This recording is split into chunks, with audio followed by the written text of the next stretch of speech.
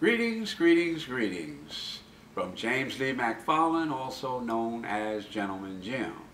The time has come for our tie Sew Along. This is the first session of it. In this session, we will start with the tools and the supplies that are needed in this session.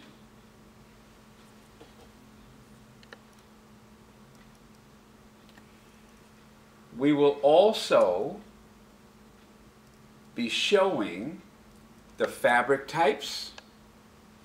We're going to demonstrate how we desection the tie. We are going to create a pattern once we do that using some brown paper. Now, here's what I have in front of me. As I told you, now you guys had enough time to get you a tie that you didn't mind taking apart. Because like I said, the tie which we use creates the pattern. The filler in between creates the shape of the tie. All of this is here. We have different types of fabric. We have a cotton base that you can do designer ties for special occasion. We have a satin base which a lot of ties are made out of.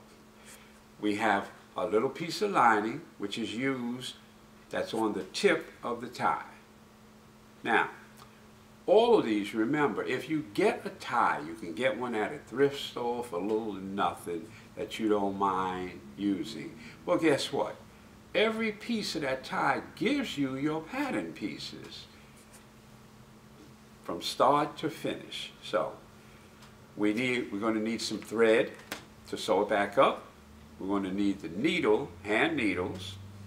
I use a little chalk marker in the event I need to show a specific area. Of course, we need our scissors. I use all kind of rippers and openers. I use a little snips because once I cut the tie, it's easier to show with the snips. Now, I like a blade, as I've talked to on many a times little snap-off blade that you can buy in the hardware store or one of the little dollar stores. Some people like a seam ripper to rip it open. I don't. I use a blade or my little clip all the time. Now, once again, I said you need some paper to create the pattern once we do that. So, beginning, we're going to take the tie apart. The filler that we take out of the tie, see, now it's completely out, the filler that we use, it's easier to buy a tie for 50 cents, 25 cents, whatever thrift stores sell it for, than to buy a whole roll of this.